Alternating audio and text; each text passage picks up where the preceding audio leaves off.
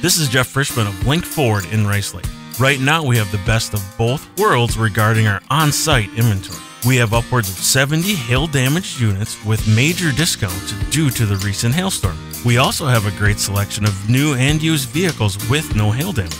We are currently offering rates as low as 0% on select new Fords in stock. Check us out on Facebook, see us at linkmotors.com, or stop in on the corners of Highway O and 53 in Rice Lake.